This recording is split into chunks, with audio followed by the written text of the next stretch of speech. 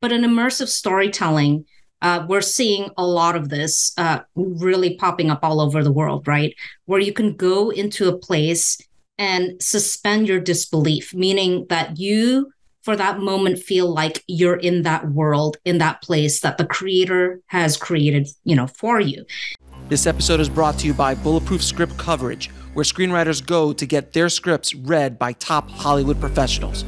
Learn more at covermyscreenplay.com. I'd like to welcome to the show Margaret Kerrison. How you doing, Margaret? Hi. How, how are you, Alex? Thanks for having me on your show. Thank you so much for coming on the show. I'm, like I was telling you earlier, I'm excited to talk to you. I've never spoken to an Imagineer before, uh, a former Imagineer. Former Imagineer, correct. Former Imagineer. but you worked with, with Disney as an Imagineer for so long, and there's so much myth and mystery behind that. That's that kind of um, position that Walt you know created all those yeah. years ago. So we'll talk a little bit about that and about your new book um the immer- immersive storytelling and all of that. So first first question how did you get into this business? Oh wow. That's uh it's such a huge question but i think i always want to start it with the fact that um you know i always wrote all my life. I always created things. I've always loved to tell stories in every kind of medium. Like I was that kid who was making like finger puppets and like casting my family and friends into my own like skits on my like huge camcorder at home and everything. And I never really thought about it, uh, writing, that is, and storytelling as a professional career because um, I didn't see that many role models growing up who were who were in that creative field. And right. you know, I was born in Indonesia and I grew up in Singapore. And at the time, like the creative field wasn't really that flourishing or anything like that, especially in Singapore. And when I moved to the United States for college, um, I was exposed to a lot more, you know, writing classes and creative classes and just movies and TV in general, which I've always loved. So I had one, uh, I, I did a screenwriting certificate course at Emerson College, and there was a professor there who encouraged me to apply to film school and he had gone to USC and he, you know, spoke all really great things about it. And he's like, you should really think about applying to film school, not specifically to USC. But I did apply to USC. I got waitlisted the first year, but got accepted the following year. And from there, you know, I was taking mostly writing courses for film and TV. And I didn't know about this whole world of themed entertainment. I didn't even know about the word Imagineering until in my like early 20s, you know. And I went to Disneyland, all of that stuff, but I just didn't know that there were these magicians, these people behind the curtains doing this kind of work. And so it was really my thesis professor at the time, you know, she was talking to us about like you writers need to think about different industries to get into, not just film and TV. They need writers for games, they need writers for roller coasters. And she was going on and on. But I remember just pausing and being like, they need writers for roller coasters? Like, who does that? That sounds awesome. That sounds like something I totally want to do. And that night, you know, I was just searching on the web, like all kinds of information about like what does that mean? Creating writing for themed entertainment and everything. And i was basically just sending emails to people to the companies uh, based in la and introducing myself and uh, trying to get into the my foot into the door. And so one of those companies uh, got back to me and that's brc imagination arts in burbank and I met with the founder, Bob Rogers, as well as a handful of other people. And they were really, really receptive and open to having someone like me come in. Um, and especially, they're very, very, um, you know, they love having writers and working with writers and everything. So it was, that was really my first professional job into this world. It was a lot of museum design, I worked on like um, experience centers for like Heineken um, and a cosmetic company named Amore Pacific, but it opened up my world to this possibility of telling stories using all of your senses. You know, it's not just looking at watching a story unfold on screen. It was really experiencing it and feeling it and being immersed in that story of a place. It's really interesting because as you're telling this story, I mean, I mean, obviously I've been to Disney World a million times. I've been to Disneyland and, and Universal and all these kind of stuff. And when you're in these kind of rides, as a writer, someone had to sit down and go, okay, when the ride gets to this point, or when the audience gets to this point, this maybe the smell comes up maybe this this water comes up the heat pops up over here a light pops up over there so it's a lot there's a there's a lot more thought in it it seems more complicated than just writing a narrative screenplay which is as difficult as you can get in the writing arts. Oh, definitely, definitely. Screen, screenwriting yeah. is the toughest thing you could do. It so I can is. imagine this is another level, even harder almost. Yeah, it is uh, challenging because you know you really have to work as a team. I think a lot of uh, writing, at least in my experience, screenwriting, because I had you know helped to write um, feature film scripts for independent directors and also for children's animation and all of this it's really a very solitary craft for the most part. I'm sitting with my laptop, I'm writing, I occasionally get notes, occasionally have meetings.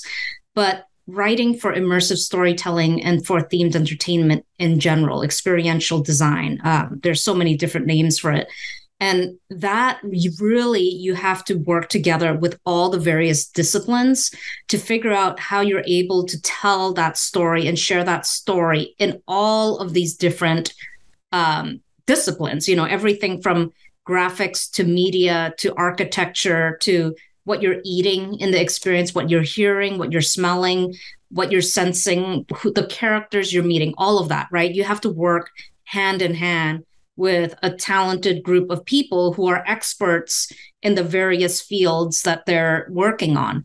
And being able to be the story champion, uh, to really kind of rally everyone together to make sure they're building the same world, the same thing, uh, the same story, the same context to all of these, to whatever story you're working on. That's the challenge and it's tough because you know as artists as creatives we all have our different interpretations of what that story can be.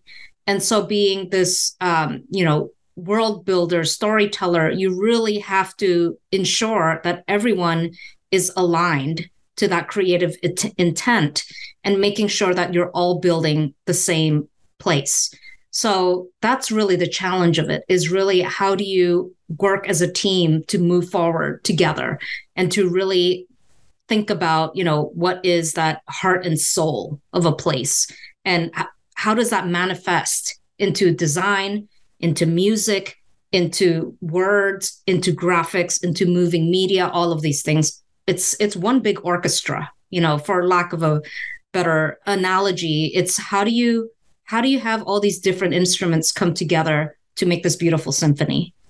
Is it is it kind of like working in a writer's room? Because at the writer's room has very similar ideas to that. Like everyone's got to be together. There's one person who's leading the charge, the showrunner, and everyone's there to service that show or that vision and kind of working. Is it kind of like that? It's so different. It's Is so it? different because in a writer's room, it's mostly writers or people yeah. who are oh. have a very strong understanding of story. And sometimes you're going to work with people who don't have a good or strong understanding of story, right?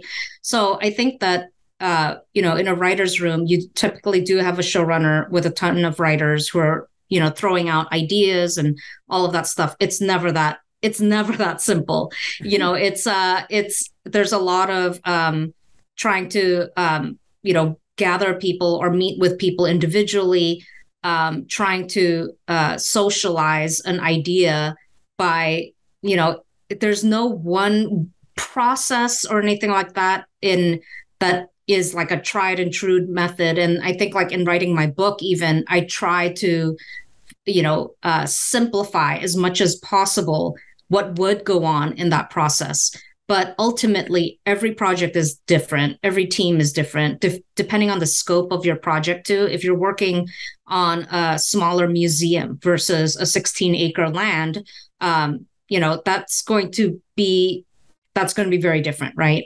So i think that um, ultimately you have to have this open communication in order to you know make that plan set up that strategy and it involves a lot of people coming together you know holding hands and marching together towards towards the finish line.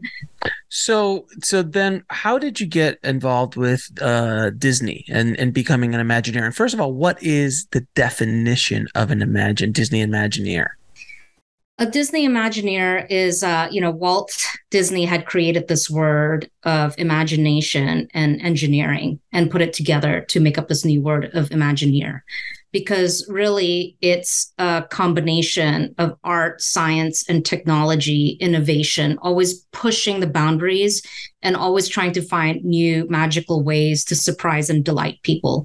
And there was no greater master storyteller than Walt Disney himself. I mean, he was such a visionary.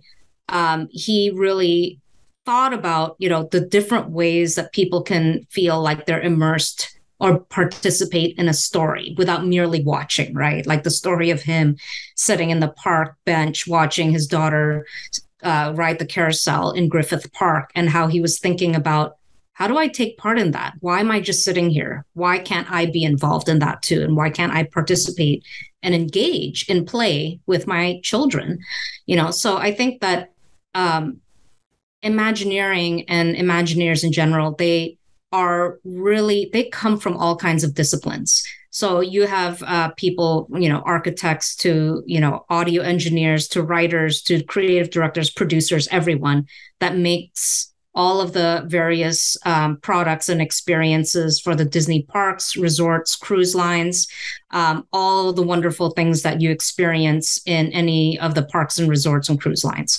So it's a really cool job. It's, uh, you know, I spent seven years at Imagineering and met some of the best, most talented people ever in the industry and it was really you know in seven years i felt like it was a master class in everything in um, environmental storytelling and how to work as a team um, in really working with some of the greatest IP on earth and trying to, you know, adapt that, that into a story world in which other people can experience it. So it was uh, a very, very magical journey for me, you know, for lack of a better word. And I think that it's something that um, I can see, you know, a lot of people having ideas of like what Imagineering is, you know, before they come in to experience what that's really like. But ultimately, it's a lot of work. You know, oh. it's a lot of work. And there's a lot of fun and play in it too. But we take that play very seriously. Without question, which I have to I have to ask you, being a uh, a massive Star Wars fan, uh, you got to play, and you got to play. You got to play in. You got to play. Oh that, yeah. You got oh, to play yeah. in that in that playground. And oh yeah! What I an mean, honor! Oh my gosh! I mean, so it was... you worked on Galaxy's Edge, which uh, I haven't had a chance to go to Galaxy's Edge yet. Mm-hmm. I did mm-hmm. because of the pandemic and all that stuff. I haven't gotten there yet, um, but many of my friends have, and and and I've seen obviously videos and images of it. What was what, what you were a story consultant on that, right? No, I was uh, I was working full time at Imagineering, so I was uh, the story lead for right. the um, Star Wars Galaxy's Edge, and I was uh, I worked on a whole everything Star Wars um, for in my time there. So my first uh, project was uh, Star Wars Launch Bay, which was um, in both Disneyland and in Disney Hollywood Studios. Uh, worked on Hyperspace Mountain, worked on uh, Star Wars Galaxy's Edge, worked on Star Wars Galactic Starcruiser, all the Star Wars activations on all the um, cruise lines as well. So I pretty much had a, you know, the privilege of a lifetime working with uh, Luke, our Lucasfilm partners who are amazing. I mean, they really set the bar really, really high for us. And we did not take that lightly at all. You know, when I, uh, I remember one of the very first meetings for Star Wars Galaxy's Edge, and we had you know turned to the lucasfilm story group and asked you know what kind of stories are they expecting from us and all of this and i remember um, pablo hidalgo who's one of the executives on the story group was saying you know what? We haven't told all the stories in star wars so we'd like to hear from you what you think the stories should be.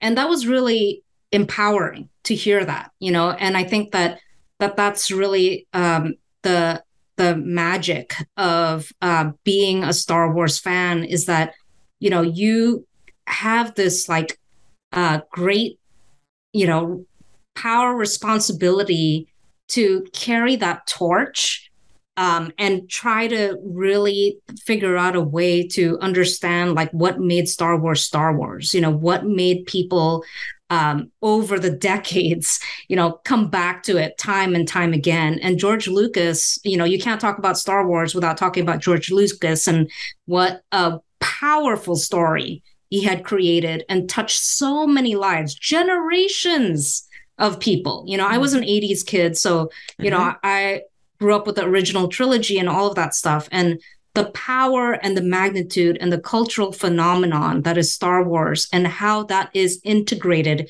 into everything in our lives. You know, oh 40 God. plus years later, people are still saying, May the Force with be with you and everything like that, right? Like it is part of our uh, society. Like you, if you, if you don't know Star Wars, I don't know where you've been living, you know, your whole life. So. at one point, even if you haven't seen the movies, you've heard of Star Wars. You exactly. you know what the Force is. You might know what Yoda is. You probably know who Baby Yoda is, even though it's Gro- Gro- Yeah. But you know what I mean.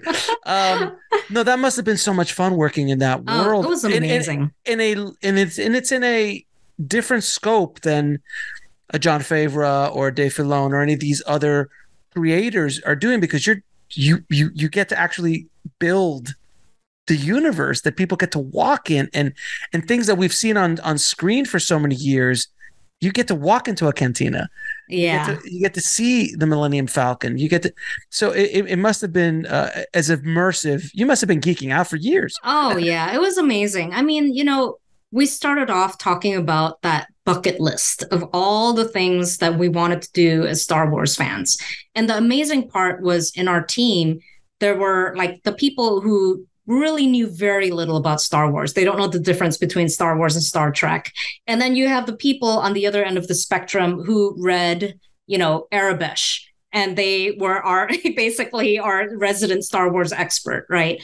And everyone in between. So I think that it was so neat to work as a team to talk about well, what is the bucket list for all the things that you want to do in Star Wars? The cantina was way high up, right? Like, oh, yeah. we want to go to the cantina.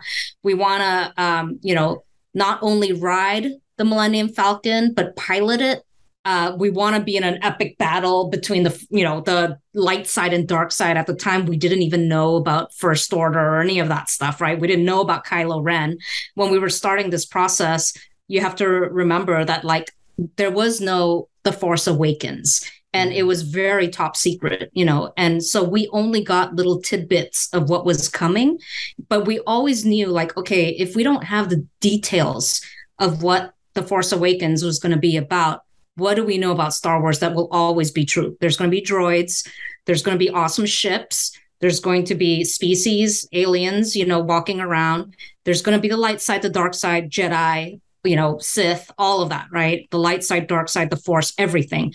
So that was it. We had a lot to work with, but we didn't have like specific details until, you know, pretty like maybe a few months, a year into the project as we're building it.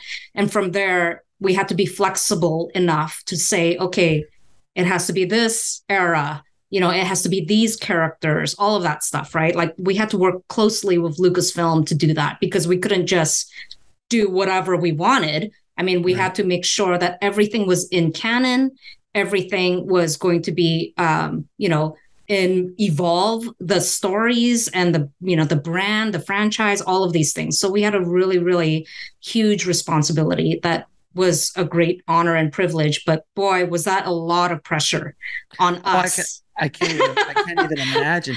By the way did you ever get to meet george? No i didn't no. But you know what? It's funny because uh I had I had seen him before when I was an intern a long time ago. Um, but I never got to see George because he wasn't, uh, you know, involved in the creation of the land or anything like that. Sure, sure, sure. By then, he had, you know, sold Lucasfilm for billions of dollars, all of that stuff. So he did come to visit um, when we opened the land and everything. But no, he wasn't part of the process in a direct way. Yeah. Oh my god, I got to meet him. once. I got to meet him once. Oh, Yeah. did you? And you know what it was? And, and he was next door to me in Burbank having lunch. No way. And I'm like, why is he in Burbank? It was right before the sale, before anyone knew about the sale. So he was he was he Oh. was meeting at Disney and he's just having lunch next door. And I had a I had just happened to have a Star Wars lunchbox that I got autographed. But anyway, I, that's how much of a Did you ask him to autograph your lunchbox? I, I, did- I, I, I actually didn't have the I didn't have the um the cojones to do it, so I had the receptionist, the older receptionist, walk up to him and ask him to make it out to me because I Oh, knew because that's I knew he- because I knew he wouldn't see he'd see me coming a mile away, but he wouldn't see her coming. Ah, that's like 60 smart.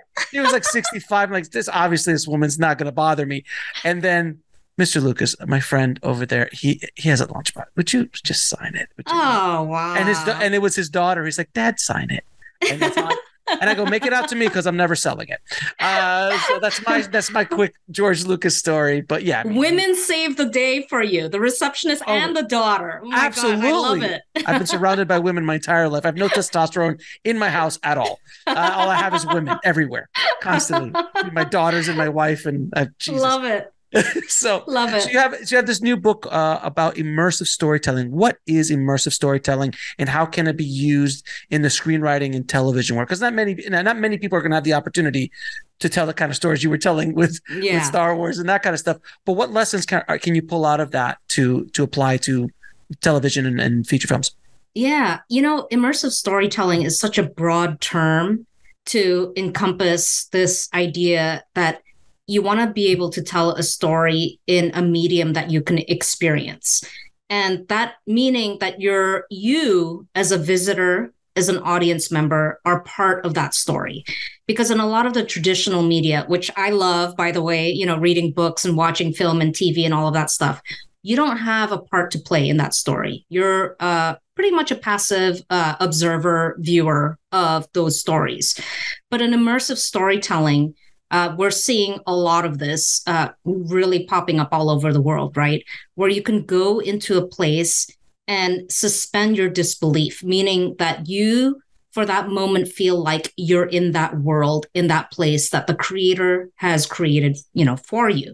And this creator storyteller is using different tools and techniques in order to make you believe that you're in that place, that you are present and in that moment. And I think some of the most powerful immersive storytelling are the ones that transport you into that world. And so there's so many different examples of that, right? There's really you know tiny museums or galleries or even stores retail stores that does that when you walk in you're like holy moly what is this place right immediately you're transported into a different dimension and then there's some that you go into you know that are places for you to explore and to discover. And so i use a lot of different examples in my book everything from the museums to the really you know epic theme park lands and attractions sort of thing and everything in between. Because i think that there isn't any one true uh, model per se of like this is what immersive storytelling should be. Because i think once we can define the optimal or you know the the peak of that experience i think we we would have failed. I think we always con- need to continually develop and evolve what that means.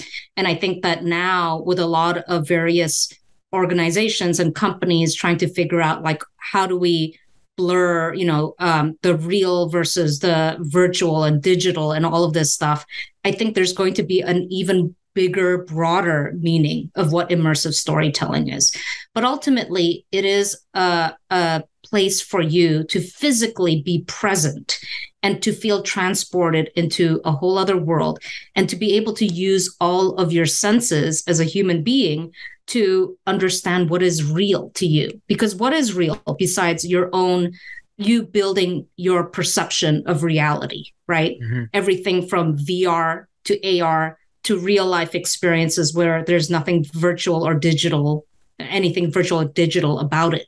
So, you know, even when I'm thinking about like talking about real and imagined worlds, um, sometimes they're one and the same, I feel. So I think that it's a really great opportunity for future storytellers and the next generation of storytellers to think about how they can really push that. Because can you imagine, even a few decades ago, a couple decades ago, we can't even imagine being able to do something like this, right? Like you and I talking, you know, uh, in real time and being able to see each other and see and hear each other uh, in real time in in such a way and who knows five years ten years from now what could that mean you know uh, to be able to do something that is uh, you know being present with someone else something that's social something that is emotional as well um, how do you think about telling stories in an immersive way that touches upon all of those things so what are the different kinds of immersive storytelling Oh my goodness! I mean, just a handful, just a couple. Just a it's a thousands, I know, but just a couple, just a couple. I mean, everything from you know, it's funny because like people would argue that reading a book is immersive. If you're a very, if you're really into a book, right, you can fully immerse yourself in it. You can forget about, you know, time goes by, right? So I think that there, it just really depends on how you define it. But I think that um, you know everything from really cool museums like i think about one of the examples that i uh, brought up in my book was the um, the national museum of african american history in washington d.c and going through that experience and feeling completely immersed in that starting from the bowels of a slave ship and rising up and just going from floor to floor to floor and climbing up to that to experience that entire history and ultimately realizing that American history is African American history. So going through something like that was extremely you know immersive for someone like me. And i think it's very you know subjective for a lot of people right? Some people might feel differently about what's immersive and what's not so museums to me are extremely immersive. I mean, there's examples that we're seeing with places like Meow Wolf, you know, where they have a whole bunch. It's an artist collective um, where they're creating a place where you can play and engage and go down slides. There's the the first one was House of Eternal Return in Santa Fe, New Mexico. Um, there's another one in Vegas and another one in Denver, Colorado, and one coming out in I believe Austin, Texas. And it's a playground for all ages, basically, right? You can let loose, you can interact with things, you can um, go explore these really bizarre rooms that at first uh, sight may not have any meaning. But then as you go through and do the, their little games and interactives, um, you uncover and discover all of these things that are just kind of a layer underneath what you thought was you know your perception of the world and then you uncover that there's something hidden all along right what's really interesting about what you're talking about is that for so many people listening you know they think that screenwriting a movie you know writing a movie or writing a television in television the only two ways that you can write in entertainment many you know uh, I, a while ago i had a video game writer on which was a mm-hmm. fascinating conversation how that I mean, I'm like, how big's the script? They're like, it's six feet tall. Like, what do you mean six feet tall? It goes literally the six feet from the ground all the way up of papers. And that's yeah. the script. It's like I'm like, what? And so so there are other ways to do it. And I'd have to imagine that there is less competition in this space than there is in the screenwriting television space, but probably less opportunities as well. Is that a fair statement? Hmm. What do you hmm. think? I don't know if there's less competition. I think there's, uh, you know, there's always a, it's a very small world, this right. whole industry. And I think there's always this healthy competition of wanting, you know, whatever the competitor company or theme park or whatever sure. it is, right? Like we never had any ill feelings towards someone who would open an experience that's truly immersive because that that challenges us to be better. And for people who are really interested in this kind of immersive storytelling industry, I think that that healthy competition is very good. Oftentimes, these companies collaborate with each other too. Right. So I don't think it's it's a this fierce, you know, dog eat dog like competition or anything like that. I think that you know, uh, when I was an Imagineer and went to Harry Potter, the wizarding world of Harry Potter for the first time, I was so impressed. And I even mention it in my book as one of the examples of really excellent immersive storytelling. So for me, as a fan of immersive experiences, I want more and more and more of it. And not only that, I want a variety of it too, from the really small experiences to the really epic ones. So for me, I think that um, yes, it is. There is a healthy competition between all of these, between all the companies that work in this field. But I also think that there are opportunities, but it's probably not as mainstream as like thinking about like, right. oh, try going Movies. for the writing job in gaming or film or TV, because oftentimes these listings or these job postings aren't posted. Um, and it's a lot of word of mouth and it's all a lot about relationships and networking mm-hmm. and working with the smaller companies first or a consultant you know and then moving yourself up from there so it's not as easy i would say to get into that door but that's changing because there's a lot of colleges and universities now that are offering programs in themed entertainment and so there is this understanding or appreciation for the fact that our kind of work is very nuanced and very um, you know it's it's it's different in that you have to think about storytelling in a holistic mm-hmm. multisensory mm-hmm. type of perspective rather than writing words on a page and handing it off to someone who'll do who knows what with it right so um, i think that it's a lot more of a collaborative uh, um, industry that you're looking into so, what tips do you have for writers trying to create worlds in their stories, regardless of the story? Are there any tips or ideas or things that you can tell them about how to move from just telling a story to creating worlds? I mean, George uh, Lucas was he's the master of that. Walt Disney was a master of that. Yeah. Um, because when you create a world, it's it, it just goes on and it start. I mean, Gene, John uh, Gene Roddenberry was was uh, you know famous for that obviously as well. So how do you have any advice for for screenwriters? You know, I think that um, my main thing is always the question of why are you telling this story and why are you the best person to tell this story? And you know, with all of the other things aside of like of course you want it to be fun and like you want it to be engaging and all of that stuff i think those are the two important questions that i always ask whenever i go into any project is why should i care you know because like me the creator storyteller if i don't care and i'm right. writing this or creating helping to create this then no one's going to care because you know as human beings we empathize with um, any sort of universal human truths. And George Lucas knew that well when he was creating Star Wars, right? He mm-hmm. knew about, you know, there, there's it's very Shakespearean, you know, like Star Wars about how, oh my gosh, the the villain this whole time was my dad. Like it's so what? Shakespeare, spoiler, you know. Spoiler alert! Wait a minute. sorry, sorry to spoil it for you. um, you know, but it's that sort of thing that like it's always these universal themes and these universal human truths. So that's now like, you know, only in the past few years do I really understand when people say, write what you know. And all the feelings, all the emotions, the the stories that have happened to you, like how do you take all of that and bring it into the stories that you're helping to create, right? Because if you're just um, you know taking a template of something else or or you know you watch something or you experience something oh yeah let's do that and let's do it our way sort of thing. It doesn't feel true. It doesn't feel genuine. And so that's kind of my advice to screenwriters is whenever you write your story or script like ask that question of like why are you telling the story? Why should you care? Because that's going to eh, you know um, influence why other people should care and what's that universal truth or theme that everyone can resonate with that doesn't feel like it's superficial that doesn't feel like it's um, you know something you've seen or heard of before?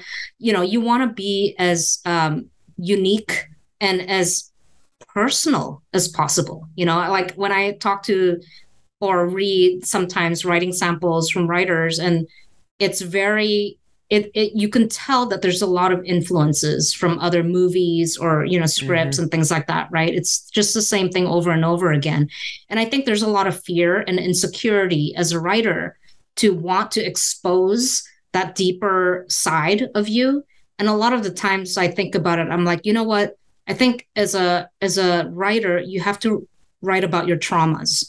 You have to write about the things that um mm-hmm. you know killed you inside that disturbed you that really bothered you that really hurt you you know um and in addition to the traumas you also write about your triumphs right you write about the things that like you started really low and you worked yourself up to being able to succeed in the end. So, what are those cases or situations or scenarios in your life where you went from that trauma to triumph, right?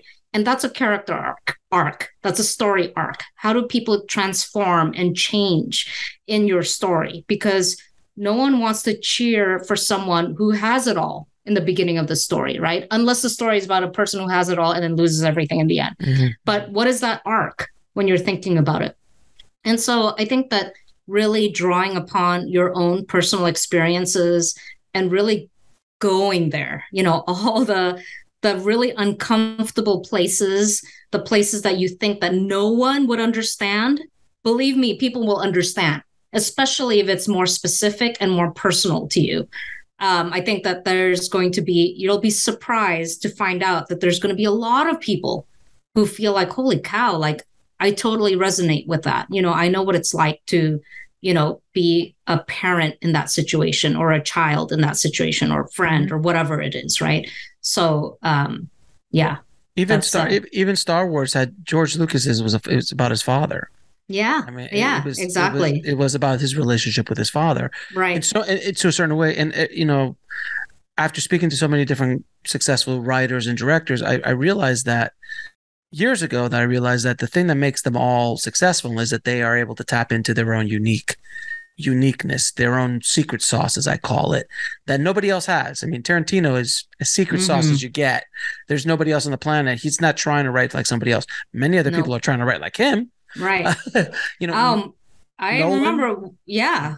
Nolan What's who is Chris it? Nolan. Chris oh, Nolan. Oh, Chris. I mean, oh gosh, you're you're mentioning all my heroes. You know? I mean, I mean, who can write like Chris Nolan? Like, there's yeah. nobody else on the planet really. Maybe his brother because they write together.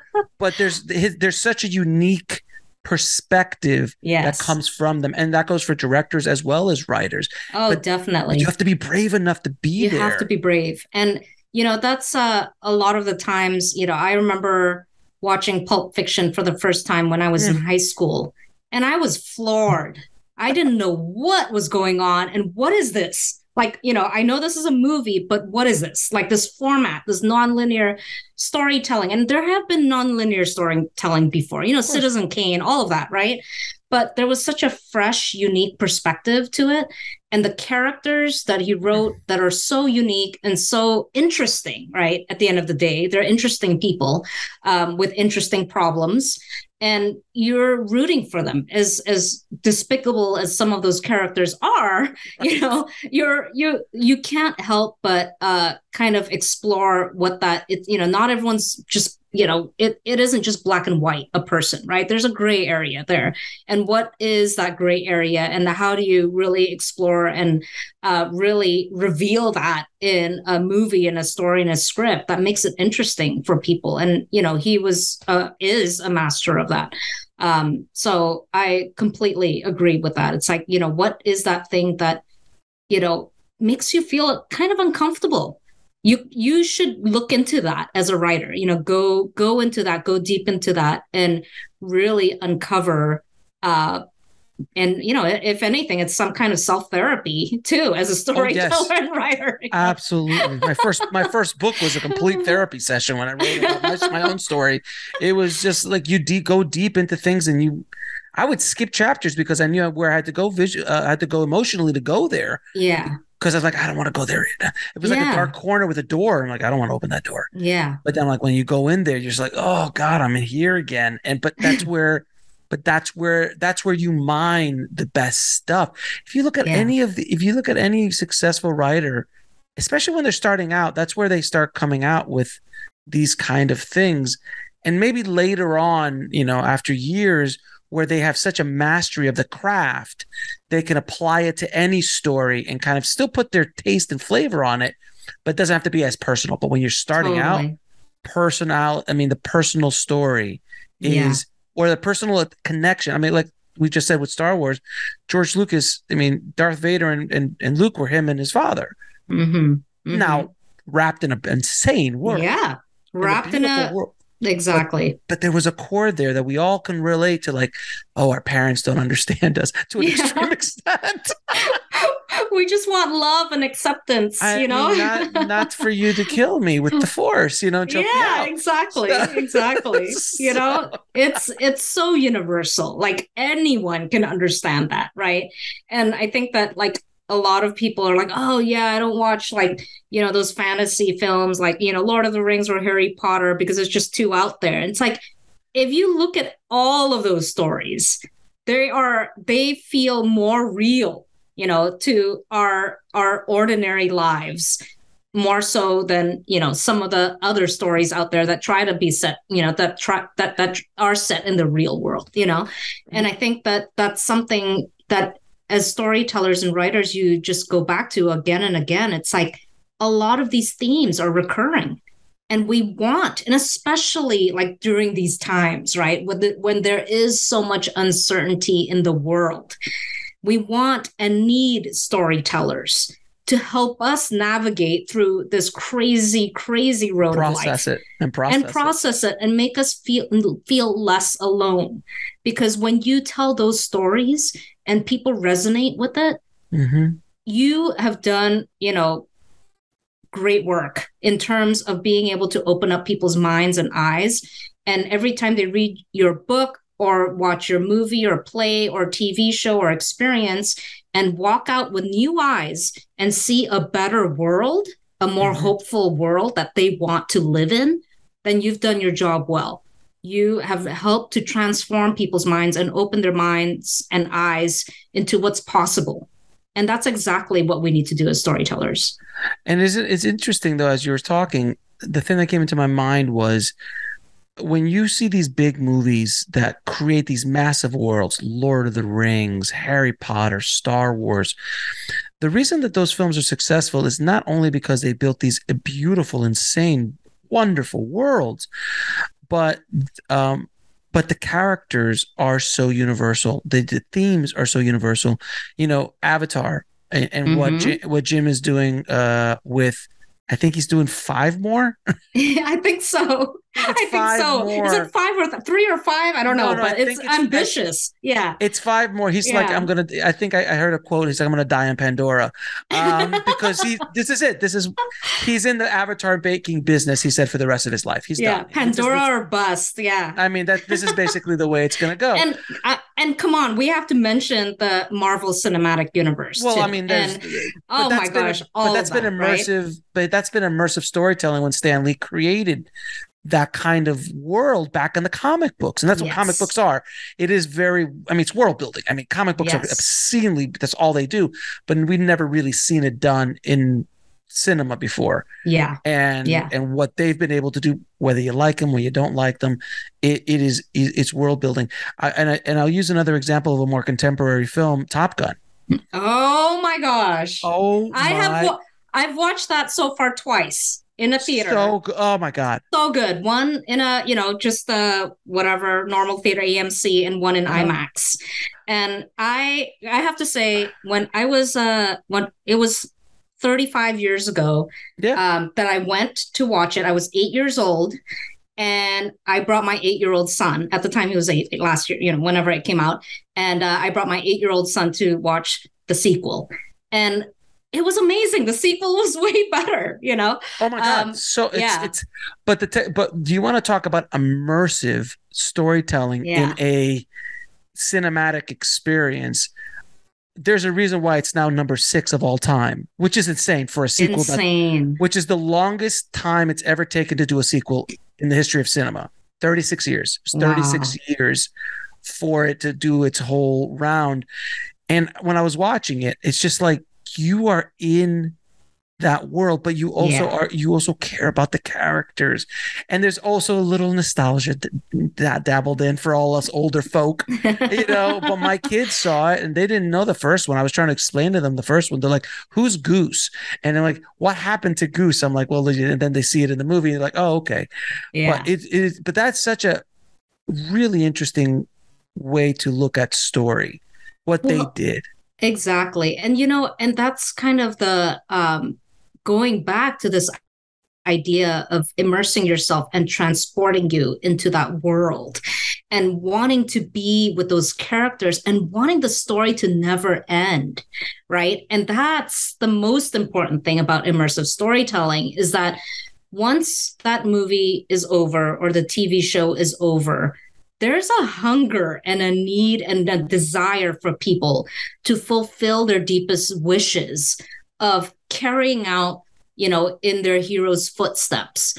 And you know whatever they felt like being able to fly like you know tom cruise like maverick right? Um being able to be up in the sky and doing all those crazy the dog fight all of those things right? Like how can you as an immersive storyteller extend that story and continue it so that people can always go back to it um way after that movie ends or way after the TV show or whatever it is ends, right? How do you think about, you know, doing um making games for it? I mean, I remember after watching Top Gun on IMAX, uh, my husband, who's a huge Top Gun fan as well, started, you know, wanting to play with the micro, Microsoft Simulator. Oh, I remember because he, back in, yeah, yeah, yeah. yeah oh no, no, no, the, the, the, new one, no, yeah, yeah oh yeah, yeah, to, yeah, exactly. They have a Top Gun version. I think it's uh, Microsoft Simulator has a Top Gun version, but one of them has a Top Gun version, and so it's being able to um, you know continue that like going on that journey again and again and again right it's so interesting because when i saw avatar for the first time and i only seen avatar in 3d on the theaters i don't like 3d movies but when jim does it it's done right. So i remember getting I went and bought the game because I wanted to live I yes. wanted to go back to Pandora. I wanted to just kind of walk around it and I wanted to be in it and yeah all of that. And I know there's a Pandora experience at Disney as well. I gotta go to as well.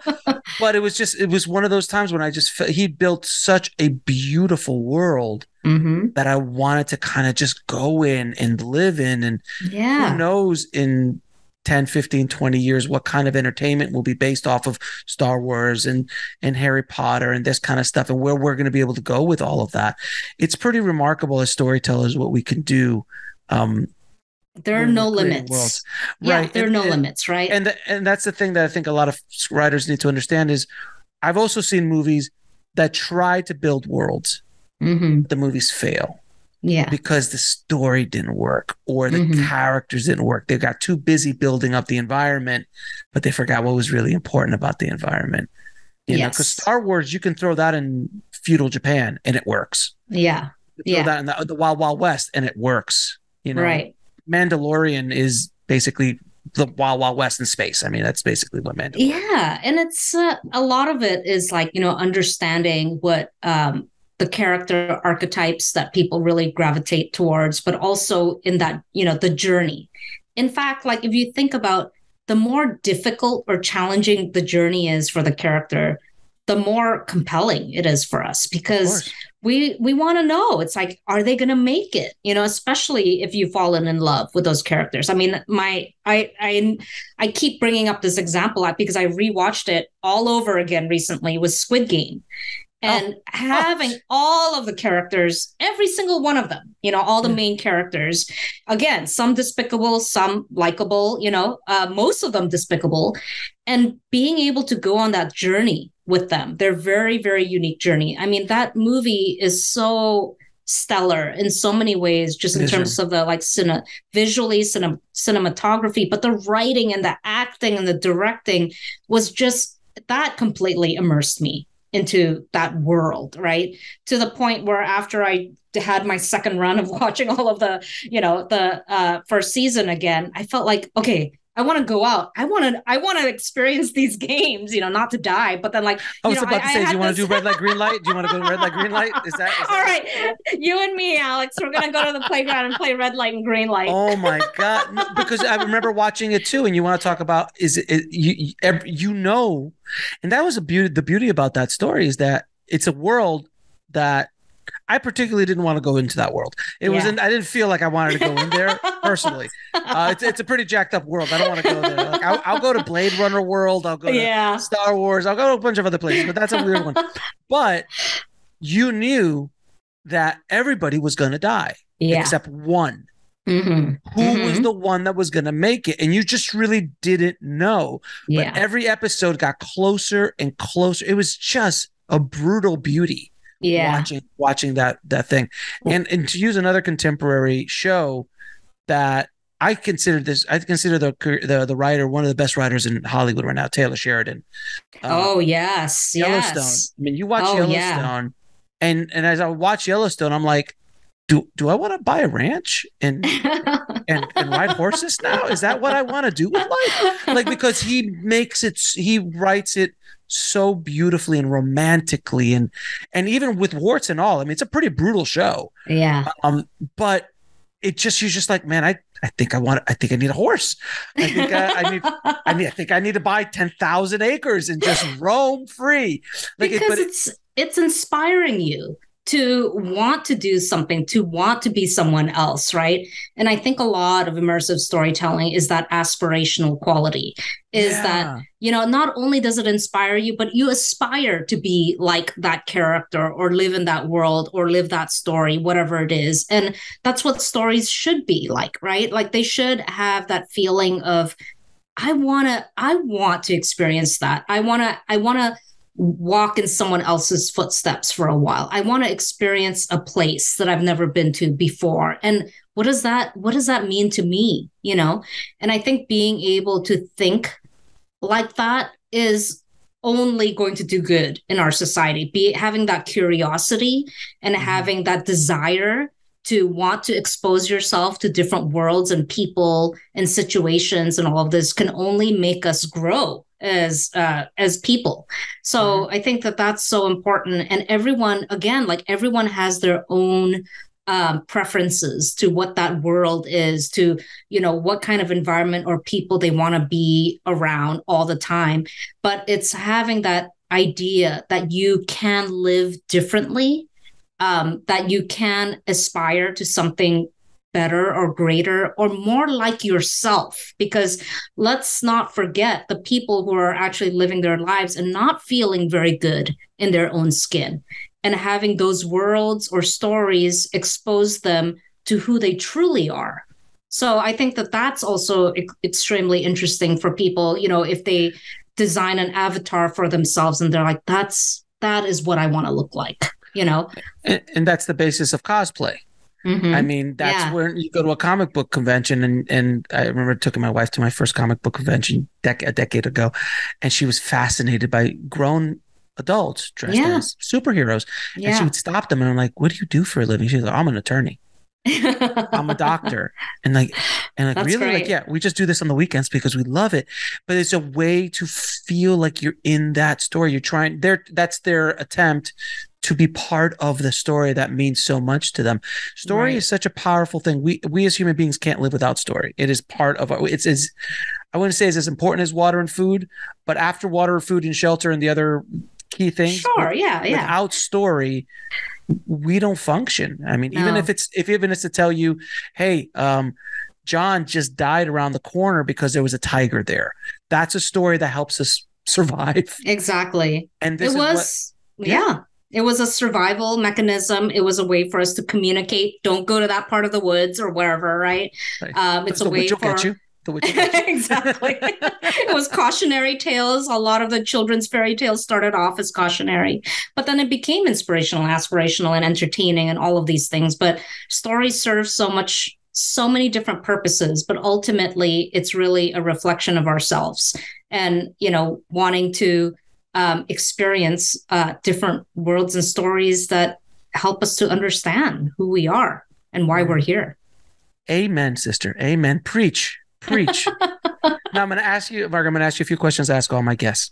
What advice would you give a screenwriter trying to break into the business today? Keep writing. I know that a lot of uh, writers are waiting for the magical phone call, um, but that magical phone call does not happen unless you work for it. so, writers, you got to write.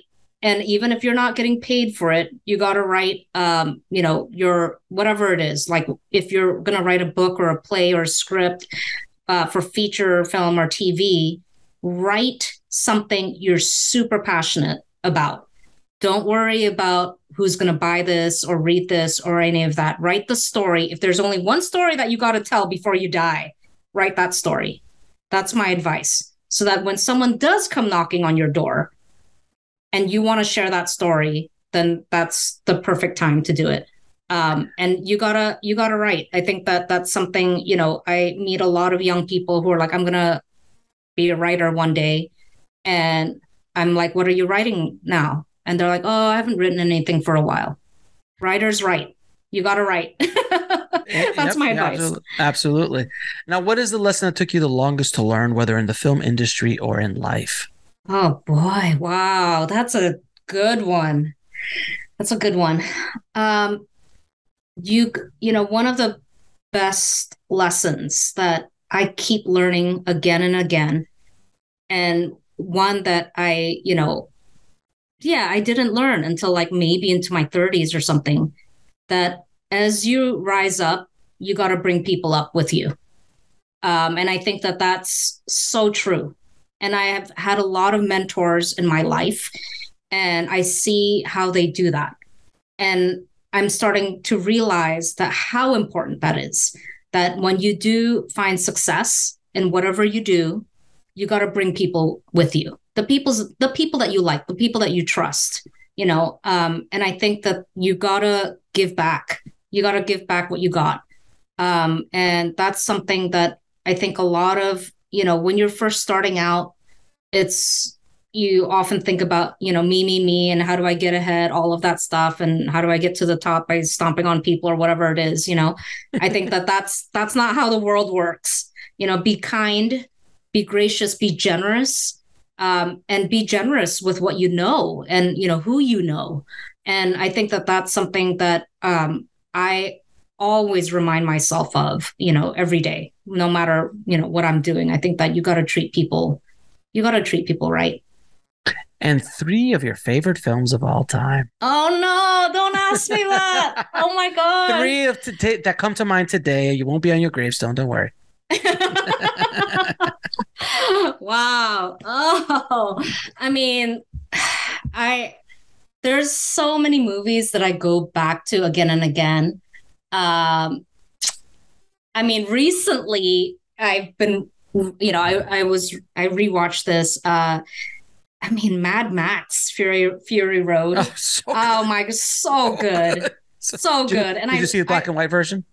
Oh no, I didn't actually. You have to watch but, the black and white. Oh, okay. I, will oh, have to watch epic. the Black epic. and white. Okay, okay. But I read the book on the making of the movie and everything. I was just like, holy moly, like all the various things that had to happen for this movie to even exist was a miracle in itself. It didn't even have um, a script. It like had storyboards. like it's crazy. It's, it's just craziness. And that is it was a I felt like it was creativity, unbridled creativity. You know, there was just the costuming and like the makeup and just some of the, the words that people were saying. It's like, what is this, right? And, but it was I, a beautiful, chaotic mess. Like I, I, it wasn't a mess at all. It was beautiful. Um, and the thing, and yeah. the thing I love about that is like, from the director of Happy Feet. from the Oscar-winning director of Happy Feet comes Max Mad Max Fury Road. Like, what? What's going on? so true. so true. Oh my gosh. Um, but Charlize Theron is amazing in it, and like I mean, she can play anything, but she was really mm-hmm. great in it. Uh, two more? Do I have to say two more? Oh my gosh, there's so many. Um, you know, I like one of the movies that I rewatched over and over again when uh, I was in high school and co- well college, I think, was uh, Chungking Express by Wong Kar Wai, mm. and it was such, it was so beautiful and quiet Um, but I love the character development. I love just just how it was such a there's simple stories about everyday characters, you know, and that also reminds me of um, uh, Lost in Translation too. Like mm-hmm. that, mm-hmm. I can watch over and over again as well. So so many. I mean, right. you know, we'll, I, we'll I, it's, I, that's way too you. hard. I'll, I'll, I'll, I won't torture you anymore. Uh, Margaret, where can people find uh, your new book? Uh, so as of yesterday, my book is available everywhere: Amazon, Target, in your uh, local bookstores. I, I think that I'll, definitely available online um, in your local bookstores. So um, really anywhere, and hopefully anywhere. So uh, immersive storytelling for real and imagined worlds, a writer's guide. And I'm actually having a book signing if you're in Pasadena, California on September 9th at 7 p.m. in the Vroman's bookstore in Pasadena, too. So it'll be really great to see some people there as well. Margaret, it has been a pleasure talking to you. Thank you so much for coming on the show, and thank you for building these worlds that we're walking in and experiencing, and uh, and inspiring future storytellers uh, of the future. So I appreciate you, my dear. Thank you so much. Oh, thank you so much, Alex, for having me. It was really fun talking to you.